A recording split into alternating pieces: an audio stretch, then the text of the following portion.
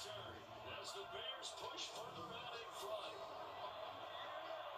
I know a lot of special teams coaches, they just want to keep it away from him because that's what he can do.